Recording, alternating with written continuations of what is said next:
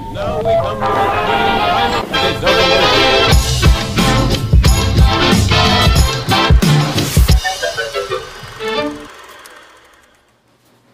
Hello, good morning, good morning po sa inyong lahat. So ngayon ay pwede na tayong mag-upload ng mga videos. Kahit hindi pa masyadong tapos yung ating kusina is mag-start na po tayo na magluto ng pang-upload at pang-share ko sa inyo. Since meron po ako mga panday as of now, so gagawa tayo ng pinaka-snack nila at snack na rin natin na pwedeng pwede nyong pang-negosyo recipe mga kamamsi. So let's start. Papakita ko sa inyo ang mga gagamitin natin sa ating gagawin na pang-snack. So, meron tayong tatlong ingredients dito. Ito yung ginger. Then, kailangan din natin ng malagkit na puti. Ito yung tapol. 48 to 50 pesos lang ang malagkit namin dito.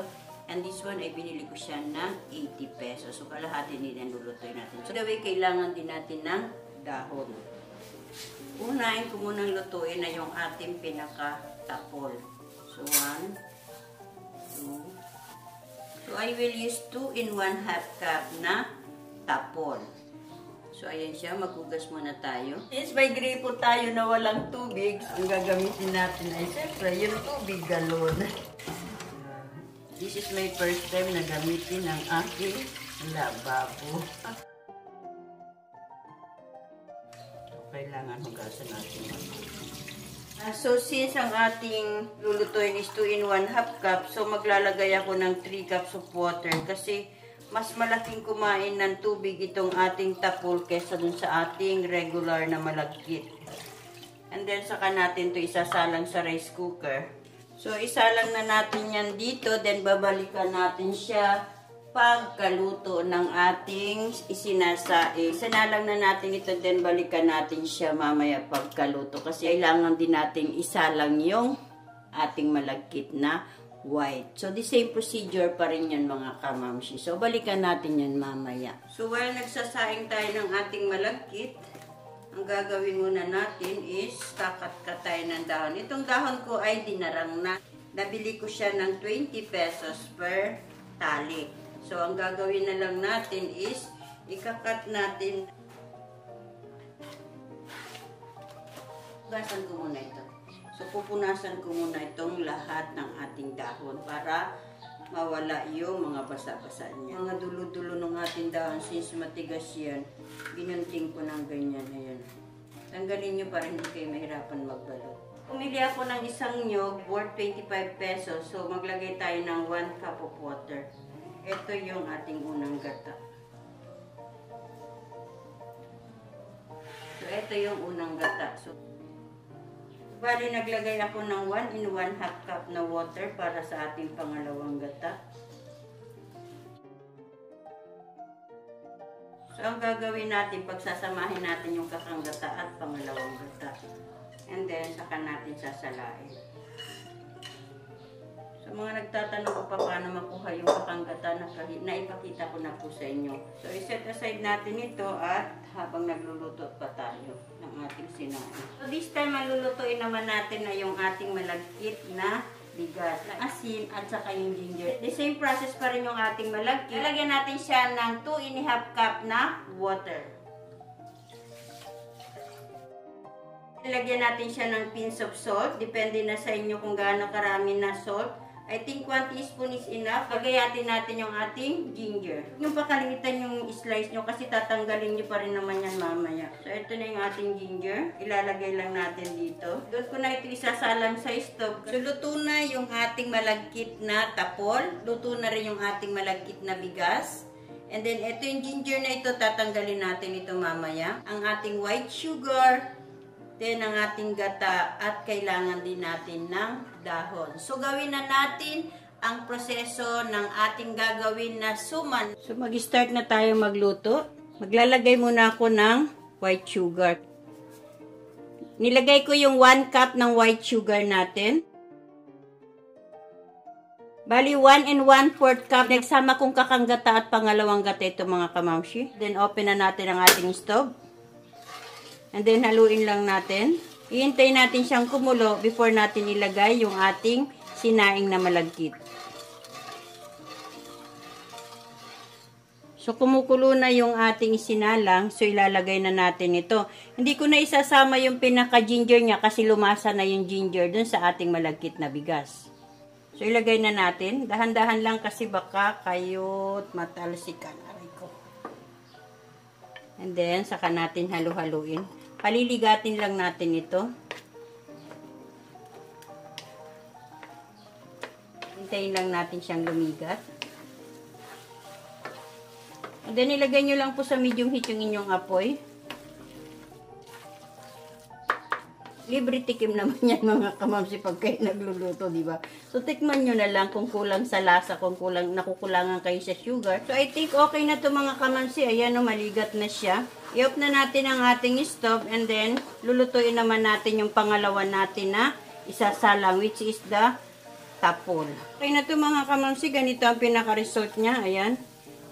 Ayan, kailangan ma-absorb niyang mabuti yung gata para hindi kayo mahirapan magbalot mamaya. Pareho lang po ang gagawin. So, ilagay natin yung 1 and 1 4 cup na kakang gata at pangalawang gata na pinagsama ko na 3 4 cup of white sugar. And then, saka natin halu-haluin. Pagkahalo natin yan, hayaan lang muna natin dyan and then hintayin lang natin siyang kumulo. So, ayan, kumukulo na yung ating gata. So, ilalagay na natin yung ating tapol. Aray ko. Halu-haluin lang natin hanggang sa kumunat yung ating niluluto. Since libre tikim, tinikman ko at matabang yung ating niluluto na tapol. Dinagdagan ko siya ng 1 half cup na white sugar. So, bali lahat-lahat ang nagamit natin is 1 and 1 4 cup na white sugar. Continuous lang yung halo hanggang sa lumigat gaya nung niluto natin kanina. So, okay na to mga kamamsi. Off na natin ang ating stove. So, tapos na nating maluto yung 2 and a half cup na malagkit na puti and 2 and a half cup na tapol. Magbalot na tayo. Kuha tayo ng isang kutsara and then i-transfer nyo dyan sa dahon. Then, i-roll nyo, pahabain nyo. And then, pagkahaba nyo, ganyan nyo. Fold nyo magkabila para maganda yung pagkaka-roll niya. Kuha na naman tayo ng isang kutsara. Kung gaano karami yung kabila, yung ginuna natin na black, ganon din karami ang kukunin nyo sa puti. And then, pahabain nyo rin. Karoon nyo niya, tingnan nyo kung eksakto na. Ayan o. O, para hindi kayo mahirapan, eh, ganyan nyo na lang yan. Tapos, bilibidin na natin. Ayan o. At so, ayan na siya. Tapos, saka nyo ganyan. And then, saka natin ilagay sa dahon. And then, saka natin i-roll dito. So, ayan siya. And then, pindutin natin. Ayan yung pinakadulo. Then, pindutin natin yung pinakadulo. So, ayan. Kuha tayo ng isang kutsara na black. And then, i-roll natin.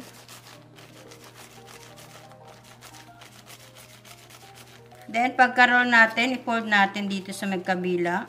Then, set aside. Kuha tayo ng puti na malagkit. Then, lagay natin dito. Then, i-roll natin. Pagkatapos nating i-roll, pagtabihin natin yung puti at saka yung black. Pwede nyo na naman ganyanin eh. Ayan, ilagay nyo na yan dyan. Ganun lang yan mga kamamsi. Ganun lang yan. The same proseso pa rin yan. Oh. Ayan. Ayan. Para lang tayong gumagawa ng moron. So, eto siya. Then, ilagay natin dito. And then, i-roll natin. Medyo higpitan nyo. Ayan o. Oh. And then, roll. And then, kunin natin yung magkabilang dulo. Kailangan dito yan nakafold. Oh. Ayan.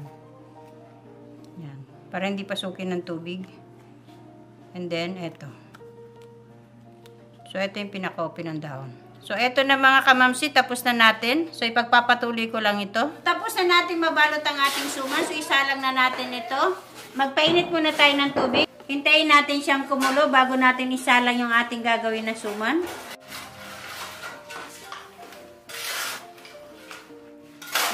ayan, kumukulo na yung ating mainit na tubig. Isa lang na natin for 20 minutes. Balikan natin siya for 20 minutes into medium heat. So, after 20 minutes, i-off na natin ang ating stove. And then, tanggalin na natin.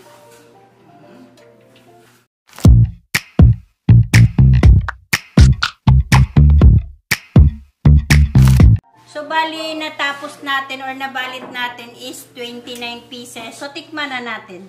Super init pa siya, pero pag lumamig siya, maganda na siya. Ayan, oh. So, tikman muna natin. Kasi na, nagutom ako, eh. Natikman ko na kasi ito kanina, kaninang niluluto natin. Kinain ko na to, tinikman ko na. Libre tikim nga mga kamamsi, di ba? So, tamang-tama yung tamis niya.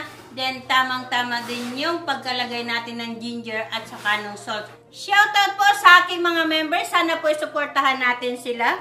Aileen May Magan, Irma Hernandez, Evangeline Rafaner, Kristen Joy Tapikan, Nimpa Lungakit, and Judge Pudi. Pasensya na po sa aking mga members if hindi ko pa kayo na-shoutout ng matagal-tagal dahil na busy po si ma'am sa ninyo. If you like this video, give me a thumbs up, subscribe to my channel, and tap the bell for more updates. Thank you po!